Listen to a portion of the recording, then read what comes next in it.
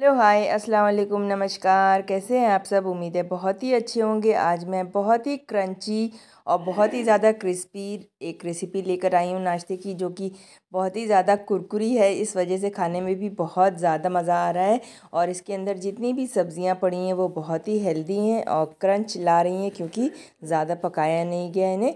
तो इसको बच्चे से ले के बूढ़े तक बहुत ही ज़्यादा मज़ा लेकर खाने वाले हैं और नाश्ता हो या कोई मेहमान आ जाए या आपको छोटी सी भूख है तो उसके लिए बहुत ही हेल्दी और बहुत ही ज़्यादा मज़ेदार नाश्ता बनकर रेडी होता है। तो चलिए आइए देखते हैं उसके लिए हमने क्या प्रिपरेशन की है। तो मैंने एक कढ़ाई में एक चम्मच तेल डाला है और तेल के गर्म होने के बाद इसमें डालेंगे थोड़ा सा लहसुन काट कर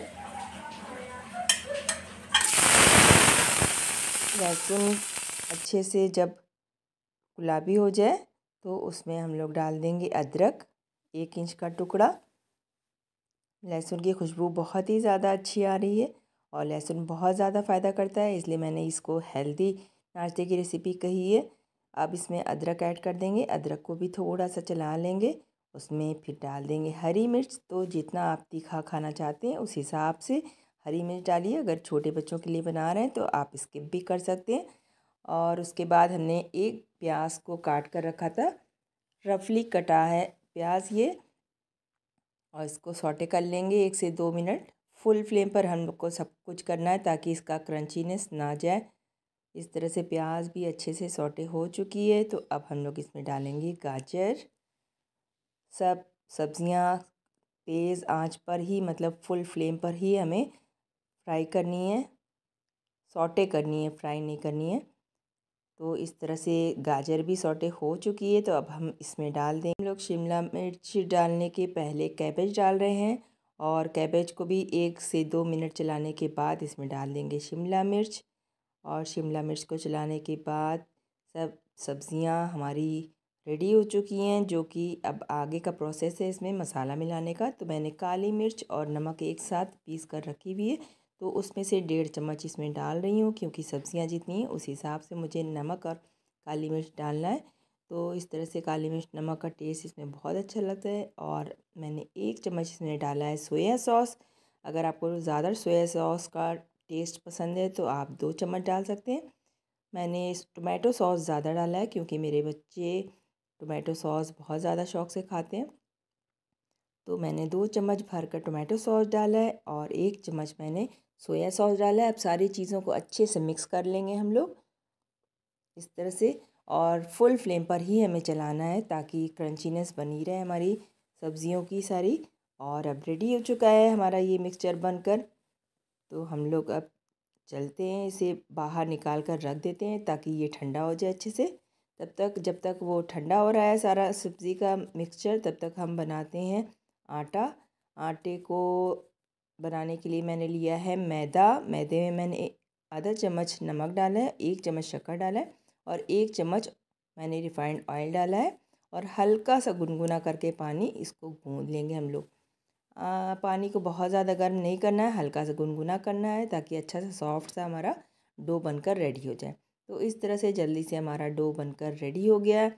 अब मैं इसे रख दूँगी दस मिनट के लिए। थोड़ा रेस्ट हो जाएगा, तब तक हम बाकी का काम कर लेते हैं। तो ऊपर से क्रिस्पी बनाने के लिए मैंने इसमें पोहे का यूज़ किया है, मैंने थोड़ा सा पोहा लिया हुआ है। अब इसको मिक्सर में डालकर थोड़ा सा ग्राइंड करना है मुझे, ताकि हल्का सा दरदरा सा इसका टेक्सचर बनकर इसे ज़्यादा बारीक पाउडर वाला चीज़ नहीं आनी चाहिए इसमें। तो इस तरह से दरदरा सा मैंने इसे पीस लिया है। और बहुत बारीक पाउडर की तरह रहेगा तो फिर जो चीज़ हम चाह रहे हैं वो नहीं बन पाएगी। और एक छोटी कटोरी में मैंने दो चम्मच मैदा लिया है। अब इसमें थोड़ा सा पानी डालकर एक अच्छा सा पेस्ट बना लूँगी। लिक्विड पेस्ट बन जाएगा इसका तो हमारे बहुत काम आने वाला है आगे चलकर। इस तरह का पतला पेस्ट बनाऊँगी। अब मैं जो आटा मैंने गूँध के रखा हुआ था, उसमें से छोटी सी लोई लिए और पूड़ी की तरह इसे बेल लेंगे। बहुत पतला बेलना है, इसलिए लोई को छोटा ही लेना है और पूड़ी के साइज़ का इसे बेल कर हम लोग तैयार कर लेंगे। तो सारी पूड़ियाँ मैं एक साथ ही बनाकर रख लूँगी ताकि मुझे फिर आगे का प्रोसेस करने में परेशानी ना हो। इस तरह से हम लोग बना कर रख भी सकते हैं। बनाकर जब हम लोग सेक लेंगे, सेकने के बाद ज़िप लॉक बैग में लगा कर रख सकते हैं। रमज़ान आ रहा है, रमज़ान में इतना टाइम रहता नहीं बनाने का तो इस तरह से तवा गर्म हो चुका है, अब इसे हम लोग सेकेंगे तो एक साइड का हल्का सा रंग जब बदल जाएगा तो उसे पलट देंगे। ज़्यादा पकाना नहीं है, बस हल्का सा चित्ती भी नहीं पड़नी चाहिए, बस थोड़ा सा कलर बस चेंज होना चाहिए, बस हो गया। अब ये बहुत ही अच्छा हमारा पैटी बनाने का या समोसा पट्टी बनाने का बहुत ही अच्छी पट्टी बन के रेडी हुई है। बहुत ही पतली, जितनी पतली होगी, उतनी ही ज़्यादा कुरकुरा क्रिस्पी हमारा रोल बन के तैयार होगा या समोसा अगर हम बना रहे हैं तो समोसा बन कर तैयार होगा। तो इस तरह से मैंने ज़्यादा सी बना ली है कि अब जब भी मुझे रोल बनाना हो या समोसा बनाना हो तो मैं इसे यूज़ कर सकती हूँ। इसे मैं ज़िप लॉक बैग में रख दूँगी और आप भी बनाकर इसे रख सकते हैं और रमज़ान आ रहा है तो रमज़ान में बहुत ही आसानी होगी। अब मैंने एक उठाया है इसको। और उसमें जो मिक्सचर मैंने तैयार किया था सब्ज़ी का, बीच में एक चम्मच रख दूँगी। और जो मैंने लिक्विड बनाया था मैदे से, वो चारों तरफ़ से लगा दूँगी ताकि आपस में जब हम लोग फ़ोल्ड करें तो चिपक जाए बहुत ही आसानी के साथ। थोड़ी देर रखने के बाद ये लिक्विड जो है गाढ़ा हो चुका है। तो अच्छे से चिपक जाएगा। इस तरह से मैंने दोनों साइड से पहले फ़ोल्ड किया, फिर उस पर भी अच्छे से लगा दिया पेस्ट को और हाथ को दबाते हुए मैं इस तरह से रोल बना रही हूँ इसका। हाथ को दबाते हुए रोल बनाना है ताकि खुले ना। अब इस तरह से टाइट सा रोल बन गया है और चूँकि इसमें लिक्विड हमने लगा दिया है मैदे वाला तो ये चिपक जाएगा। तो इस तरह से मैंने सारे रोल्स बनाकर रख लिए हैं। अब इन रोल्स को हमें फ्राई करना है तो फ्राई करने के पहले पहले हम डिप करेंगे इसे मैदे वाले लिक्विड में। ये लिक्विड में मैंने इसे डिप किया हल्का सा और चम्मच के मदद से निकाल लिया फट से। और जो पोहे का हमने मिक्सचर बनाया है, पोहे का जो हमने पीस कर बनाया है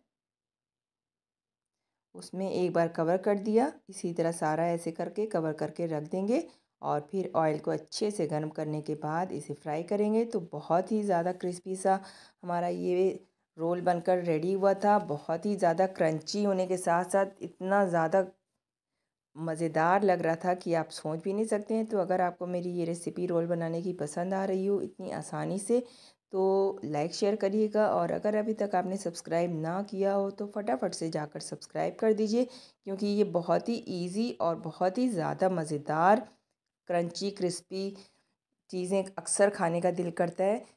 समझ में नहीं आता क्या खाएँ, लेकिन ये इतने जल्दी और आसानी के साथ बनकर रेडी हो जाएगा कि आपको बनाने में भी बिल्कुल भी परेशानी नहीं होगी। और फटाफट से तैयार होने के बाद जब आप खाएँगे ना तो आ हा हा कितना मज़ा आने वाला है आपको। कि आप सोच भी नहीं सकते। देखने में ही लग रहा होगा, देखिए आपको कितना क्रंची है ये। अब खाने पे तो बहुत ही ज़्यादा मज़ा आया है मुझे। तो अब मैं आपको सुना नहीं सकती हूँ इसकी आवाज़, लेकिन खाने पे मुझे इतनी ज़्यादा अच्छी आवाज़ इसकी लग रही थी कि मैं दिल कर रहा था खाती जाऊँ खाती जाऊँ खाती जाऊँ। तो आप भी बनाइए और मुझे कमेंट करके ज़रूर से बताइएगा कि आपके घर में सबको कैसा लगा ये मेरा नाश्ता वेज रोल का। और बहुत ही ज़्यादा टेस्टी होने के साथ साथ बहुत ही झटपट बनकर रेडी हो गया और सबको बहुत ज़्यादा पसंद आया। कमेंट बॉक्स में ज़रूर से मुझे इंतज़ार रहेगा आप लोग के कमेंट का। जाइए और फटाफट से किचन में जाकर इसको रेडी कीजिए और बनाकर खाइए और बच्चों के साथ और घर में बाकियों के साथ इंजॉय कीजिए।